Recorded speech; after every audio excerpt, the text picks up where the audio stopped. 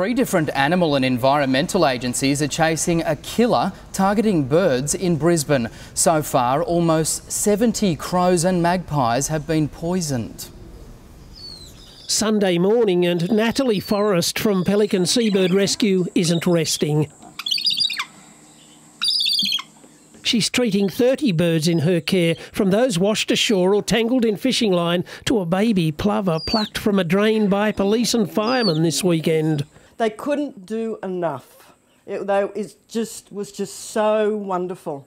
That's the warm side of human nature. The cruel side can be seen in the four poisoned magpies Natalie's trying to save. They ate meat laced with chemicals. It affects their uh, their vital organs and they, they die a very, very cruel and horrible death. 68 have now died in Brisbane's Bayside, despite a warning a month ago that the perpetrator could be jailed.